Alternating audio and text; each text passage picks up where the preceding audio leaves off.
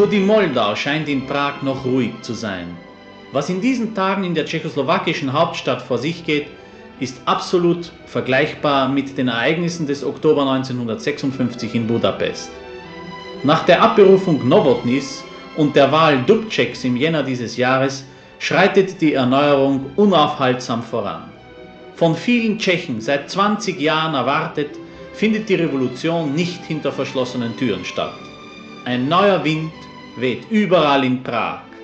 Das demonstriert am anschaulichsten die Tatsache, dass wir für unsere Fernsehbefragung ohne Bewilligungen, unbehindert, überall arbeiten konnten. Also wie sehen Sie die politische Entwicklung? No, hier in Tschechoslowakei äh, in den äh, letzten Wochen äh, gibt es so viele neue Sachen. Wir sehen es so. Ähm, es gibt hier Leute, die sind konservativ. Die wollen, dass alle hm, bleiben so, wie es war. Aber es gibt hier auch Leute in kommunistischen Partei, ich meine, die wollen etwas äh, zum Progressiv in Ökonomie, in Kultur, in der Schule und überall.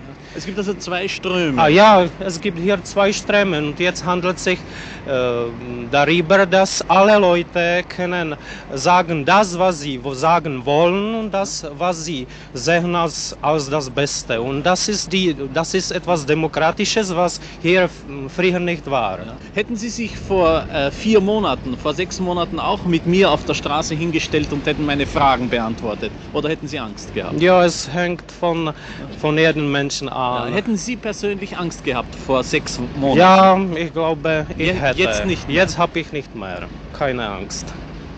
Was glauben Sie war der Hauptgrund, dass man also hier Veränderungen vorgenommen hat, nach so vielen Jahren? Ja, das ist, äh, das ist äh, schon in den Leuten. Die, äh, also es kam von unten? Ja, ja, das ist schon in den Leuten selbst. Äh, da kam die neue Generation von ja. 20 Jahren. Da sind Leute, die nicht äh, belastet waren durch, die, durch, die, durch den Krieg zum ja. Beispiel nicht. Die, äh, die haben schon die neue, äh, neue Schulen. Ja. Hoffen Sie jetzt mehr Freiheiten zu haben als vorher? Na klar. Ja. klar. Hatten Sie zu wenig Freiheiten? Ja, kann man nicht sagen, wenig Freiheiten. Es war ein anderer Stil der, äh, der Methoden, nicht? Und der, der entspricht nicht unseren äh, Wünschen und Bedürfnissen. So. Wie informieren Sie sich über die Geschehnisse? Ja, es sind äh, Möglichkeiten. Die Zeitungen schreiben jetzt sehr viel über die Ereignisse. Mehr als früher? Mehr als früher, noch selbstverständlich. Und äh, auch äh, es wird in den, äh, in den Schulen wird davon gesprochen, in den Ämtern, nicht? Ja. Überall, Tagesgespräch. Ja, Tagesgespräch. Die Leute sprechen über diese Ereignisse und sind zufrieden, dass es, dass es losgeht in den Sinne, nicht? Die innerpolitische Entwicklung in der Tschechoslowakei hat ein reges Echo auch in der Bevölkerung gefunden, das haben wir bereits festgestellt. Man informiert sich, hört Radio, liest die Zeitungen. Wir befinden uns hier in der größten Zeitung dieses Landes, in der Rue de Bravo. Sie hat über eine Million Auflage täglich. Herr Redakteur, äh, ist die Auflage gestiegen in letzter Zeit? Ja, ist gestiegen und uh, ungefähr um 20.000 bis 30.000 äh, täglich. Ja, äh, ist es so, dass die Zeitung ausverkauft ist immer? Selbstverständlich, ja. ja. Das heißt, Sie könnten noch viel mehr verkaufen, aber das... Ja, aber es gibt leider wenig Papier. Papier ja. Steht in den Zeitungen jetzt mehr drin als früher? Ja, sogar mehr als äh, einige Herausgeber wollen. Ein Beispiel, bei uns erscheint eine Abendzeitung Večerní Praha und vor ein paar Tagen, die ist herausgegeben von dem Stadtkomitee der Partei und vor ein paar Tagen haben die Redakteure von dieser Zeitung äh, eine Erklärung abgedruckt in dieser Večerní Praha, die sich gegen dieses äh, Stadtkomitee richtet. Das war früher undenkbar. Äh, ja, das war früher nicht der Fall. Äh, nun, die Entwicklung hier in der Tschechoslowakei kam sie für Sie persönlich unerwartet? Na, eigentlich äh, unerwartet in dem Sinne, dass das so rasch, äh, so, so, rasch geht. Das ist in diesem Sinne unerwartet, aber sonst nicht. Äh, nehmen wir gleich Ihr heutiges Blatt. Äh, was steht über die politische Entwicklung, die innerpolitische Entwicklung drinnen? Ja, zum Beispiel haben wir auf der ersten Seite ein, ein Artikel vom äh, Oldrich Czerny, das ist Mitglied des Politbüros und äh, war mehrmals äh, genannt in der westlichen Presse als ein angeblicher neuer Premierminister, was nicht der Fall ist. Der schreibt unter dem Titel äh, auf die revolutionäre und demokratische Traditionen des, der Partei und des Volkes anknüpfen. Dann zum Beispiel äh, hier äh, ist eine sehr interessante Erklärung äh, der Hauptverwaltung der Polizei, die äh, die Tatsache kritisiert, dass der Innenminister nicht rechtzeitig die Mitglieder der Polizei informiert hat über das Januarplenum. Und dasselbe sogar eine Resolution von den Kommunisten auf der Hauptverwaltung der Staatssicherheit. Polizei. Pol äh, Polizei. Ja. ja, das ist also heftige Kritik an Ministern. Wäre das früher möglich gewesen? Äh, no, man kann nicht sagen heftige Kritik, man kann besser sagen, dass äh, die Leute sich, die Kommunisten sich beklagen, dass sie nicht genug informiert wurden. Mhm. So. Wäre das früher möglich gewesen, dass so etwas in äh, dem offiziellen Organ erscheint? Nein, das war früher nicht üblich. Ja. Äh, deutet das darauf hin, äh, dass es äh, noch immer Machtkämpfe in den obersten Gremien gibt? Ich würde nicht sagen Machtkämpfe, weil es handelt sich um Diskussionen und keine Machtkämpfe, genau. bitte. Aber selbstverständlich äh, gibt es Leute auch in der Führung, die andere Ansichten haben als äh, wieder die anderen. Also das ist, glaube ich, normal und leider war das, war das früher nicht normal. Also es ist sozusagen die Gruppe um Nowotny und die Gruppe um Dubček. No, so sagt das die westliche Presse, Presse. und es stimmt ein bisschen so. Ja. Innenpolitisch gesehen hat sich in der Tschechoslowakei in den letzten Wochen sehr viel getan. Wie ja. beurteilen Sie das? Hm, das kann man sagen, dass es zum Besser geht, dass die Sachen, die waren, äh, durch diese 20 Jahre, das ist äh, für, die, äh, für die Nation, für den Staat, für die Leute nicht gut war. Ja. Und, was war das Schlechteste? Was war das Schlechteste? Das war, wie kann man es sagen? Hatten Sie zu wenig Freiheiten? Das ist nicht nur die Frage der Freiheit, das ist vielleicht auch die Frage der Sicherheit des Menschen. War die nicht da? die war nicht ganz da. Die Sicherheit und die Demokratie. Ich glaube, dass die Situation äh, jetzt in Tschechoslowakei ist mehr besser als früher, weil die Leute können sagen, was sie wollen. Konnten Sie das früher nicht? Früher glaube ich nicht.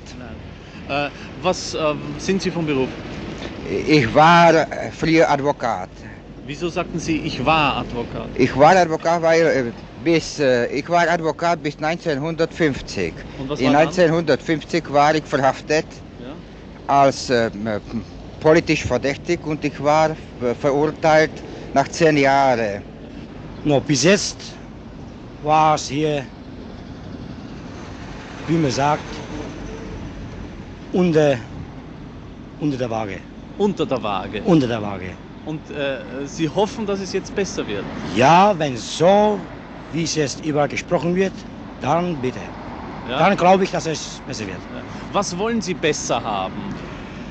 Erstens Lohn. Mehr Lohn. Mehr Lohn. Hauszinse niedriger. Ja. Ist zu hoch. Ja. Was verdienen Sie? No, ich habe die 2000 habe ich mit Kinderbeihilfe. Äh. 2000. 2000, klar. Ja. Das sind so 1700 reiner Lohn ohne Kindergeld. Aha. Und was geben Sie aus so? Nur was ich ausgebe, alles. Ja. Bleibt nicht alles. zurück. Nein. Von Auszahlung bis Vorschuss, von Vorschuss bis zur Auszahlung. Aha. Der begehrteste Artikel in Prag ist zurzeit diese Zeitung. Man stellt sich stundenlang an, um sie zu bekommen und bekommt sie meistens nicht. Wie heißt sie eigentlich auf Tschechisch? Literární listy. Äh, diese Zeitung äh, ist ausverkauft. Sie wird in einer Auflage von 200.000 äh, erscheint sie wöchentlich. Ähm, der Schriftstellerverband gibt sie heraus. Darf ich Sie bitten, uns zu sagen, Herr Ptatschnik, Wo ist eigentlich die Ursache, der Grund dieser, nennen wir es nicht Revolution, sondern dieser Veränderung in der Tschechoslowakei zu suchen?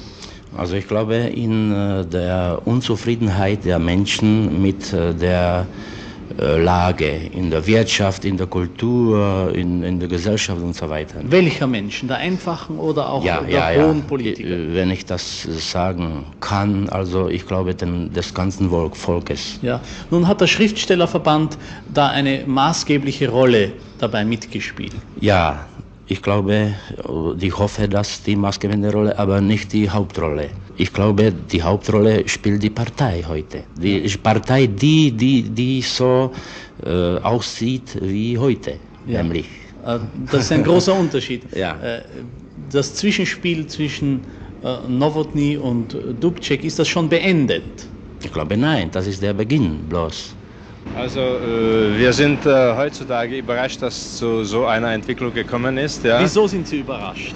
Na, das kommt daraus, dass äh, also in der früheren Zeit, also sozusagen vor zwei, drei Jahren, nicht die Möglichkeit war, so offen zu sprechen wie heutzutage. Ja. Also die Austausch, die Austauschmeinungen und diese Fragen, die also jetzt äh, vorkommen, die waren vor drei oder vier ähm, Jahren oder vor zwei Jahren nicht möglich. Das heißt, vor ja. zwei Jahren hätten Sie sich auch mit ja. mir nicht hierher gestellt. Ja, ganz bestimmt nicht. Ja. Worauf glauben Sie, ist es zurückzuführen, dass man jetzt diesen neuen Kurs geht? Kam das von unten herauf? Haben die Leute von unten herauf gesagt, wir wollen Nein, ich denke, Freiheit? es ist von oben gekommen, ja. Und deswegen hält Des, Deswegen, de, nein, deswegen äh, ist wahrscheinlich äh, für die Leute eine größere Mut äh, gekommen, sich ein, also offen zu dieser Sache zu stellen. Wissen Sie?